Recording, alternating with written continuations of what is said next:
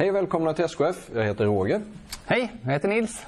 Det är dags för lite djupdykning va? i lagerdimensionering eller val av lagerstorlek. Ja, precis. Så att eh, den här delen kommer, den här avsnitten, eh, avdelningen i lagervalsprocessen kommer vi dela upp Ja. i några småbitar. Det här är ju lite spännande tycker jag, för det är den här delen som många kommer ihåg från skolan då. En del utav den. Ja.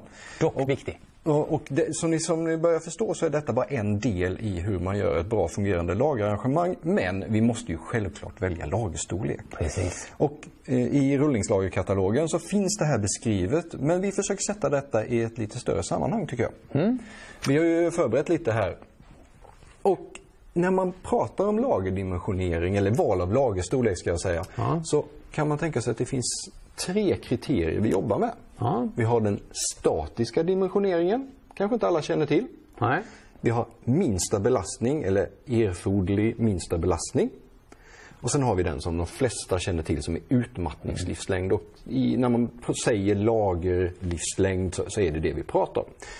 Alla de här kommer vi göra exempel på och visa mer i detalj. Så nu sätter vi bara scenen hur det här hänger ihop. Ska vi börja med statisk dimensionering? Ja, statisk dimensionering, då har vi C0 som vi hittar i katalogen då. Och vad är det egentligen? Jo, om vi lägger en last på ett lager Som motsvarar C0. som motsvarar C0, jättebra. Och så kommer den göra en permanent intryckning i löpbanan. Hur stor är den då? Ja, den är då en tiotusendel. En tiotusendel utav rullkroppens diameter. Så att eh, den här lilla gropen som vi har ritat in där motsvarar, lägg på lasten C0 som i katalogen är i kilonewton. Då kommer vi att få en permanent intryckning av en tiotusendel av rullkroppens storlek. Precis, och det är egentligen en gammal definition. Idag är vi lite mer moderna, så idag pratar vi om tryck. Ja. Så vi pratar om 4000 till 4600 megapascal. Ja. Och varför skiljer det åt då? Ja, det är lite olika för vilket lager vi pratar om. Kullager, ja, hur rullkroppen ser ut och var kontakten ligger någonstans. Och det kanske var dumt att ha megapascal här. Men för er som är yngre så är det samma sak som Newton per kvadratmillimeter. Och med den här siffran så etablerar vi en referens att eh, man kan enkelt uttryckt säga att det är liksom maxlasten. Världen är inte riktigt så svart eller vit men för vårt ändamål här så är det ganska bra. Det är en referens, jättebra. På den här stapeln eller pilen eller vad vi ska kalla den av tryck så går vi från noll tryck här nere till någon referens, någon övre gräns. Så då använder vi den referensen här. C0-referensen, det vill säga eh, 4000 megapascal. Ungefär, beroende på vilket lager. Det är inte god dimensionering skulle jag våga påstå att ligga över detta. Nej, men man kan tänka sig att det kan inträffa en gång utan att det påverkar lagrets brukbarhetstid. Så det är bra att kontrollera. Absolut, så det, det är en bra poäng. Och vi ska ta med det när vi gör vårt, lager, eller vårt exempel sen. att Även om man dimensionerar för utmattningslivslängd, kontrollera alltid den statiska. Så det var en bra kommentar. Men då har vi på något sätt hittat en, en övre gräns här och vi rör oss i tryckdomänen här. Och sen kan man ju tycka noll, ja noll om vi inte har någon belastning. Eh, antingen så håller det i evighet. så håller det i evighet. Men det kan ju vara så här att vi har ju faktiskt investerat lite pengar och vi har valt ett lager, ett högprecision, en högprecisionsprodukt. Vi vill ju få ut så mycket som möjligt av den produkten. Så då kan man ju tänka oss att den nedre gränsen någonstans här sätts av minbelastning. Va? Ja, vi har ju rullningslag och de vill ju gärna jobba. De vill gärna att, jobba. eh, Minsta belastning, Absolut. det är väl bra. Ja. Hur funkar den då? Ja, vi har då C0 som referens där också. Och då har vi 1-2 procent utav C0. Ja, så den kommer hamna lite schematiskt beskrivet här nere någonstans. Ja, Så då börjar vi gaffla in oss var vi vill vara någonstans. 1 procent. Eller ja, 1 eller 2 procent. Och då kan vi skriva kulor här va. Kul. Det var väldigt svårt att skriva detta.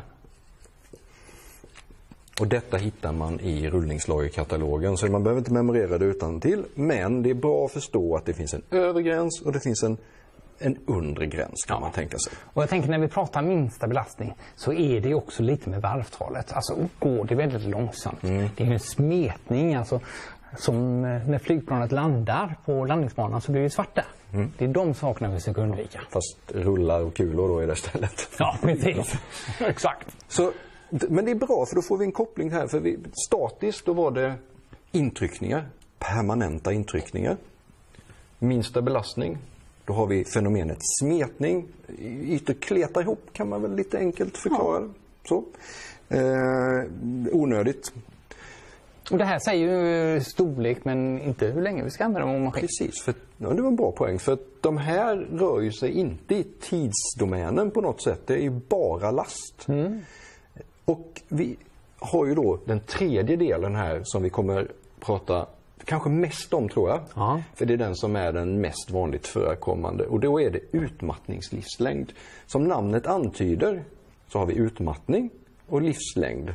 De hänger liksom ihop. Men kan du förklara utmattning? Ja, alltså om vi tänker att vi har vår kula här med last på igen och så har vi vår innerring till exempel.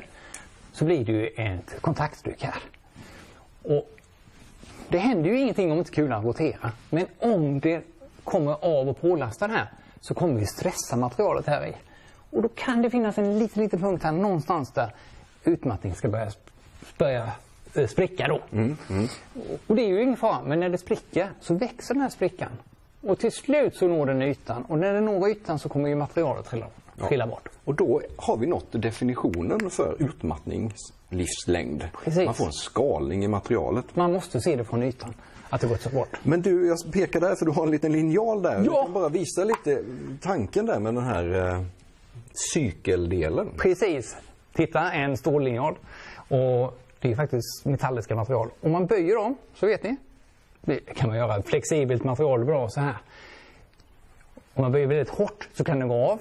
Och böjer långsamt, små böjningar, så kommer den gå av till slut. Så det är liksom två saker där. Det är liksom hur jag sträcker materialet och hur många gånger jag gör det. Ja.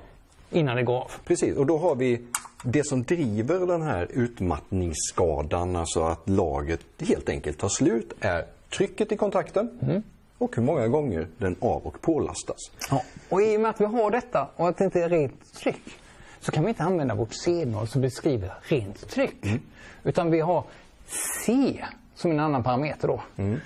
Och, och den tar hänsyn då till eh, lasten på lagret och hur mycket material det finns i materialet. Alltså i någon typ av sannolikhet att vi träffar just en sån här ställe som är lite annorlunda då. Ja. För den här metoden är en statistisk metod. Ja. Så sannolikheten att ett större, en större population av lager så är det ett visst antal som kommer att uppnå sin utmattningslivslängd vid den tidpunkten som vi räknar fram. Det är väldigt bra. Ja, fortsätt. Och, och eh, därför är det tid, eller varv, som vi dimensionerar för. Och den metoden som beskriver utmattningsdimensionering i rullningslagerkatalogen har allt det här fina inbyggt i sig, det vill säga ta hänsyn till tryck och cykler. Så att när vi använder den då får vi med allt det fina samtidigt. Ja, Så, så om vi nu ska positionera det här då, för nu, den är ju lite endimensionell den här, för det är bara tryck vi jobbar med. Men vi vet att trycket driver utmattningslivslängden, så vi kanske bör också vara här i det här området när det gäller tryck. Men det räcker inte att bara veta trycket för att få fram hur länge det håller. Vi måste veta cykeln också. ja. Och sen kommer vi när vi djupdyker i det här att ta hänsyn till hur smörjningen inverkar och även smuts. Men det gör vi i de kommande filmerna. Ska vi repetera lite fort? Ja, Statisk dimensionering, tryck endast. Permanent intryckning. Minsta belastning är kompis med C0 kan man säga för att vi använder en procentsats baserat på C0. Ja. Det är tryck också. Utmattningslivslängd, då introducerar vi begreppet C som vi har pratat om i filmen om ekvivalent lagerlast. Där dyker det upp. Vi kommer ha nytta av den filmen, eller ni kommer ha nytta av den filmen. Dessa är de tre verktygen eller dimensioneringskriterierna som vi kommer använda för att få fram rätt storlek för vårt lager. För i slutändan handlar livslängd om att ha en, ett lager som gör sitt jobb under den tiden vi vill att det ska göra det precis. Har vi missat något? Nej, jag tror inte det. Jag tycker det är en jättebra sammanfattning. Tack så mycket. Ha det bra. Ja. Ses nästa film. Hej. då.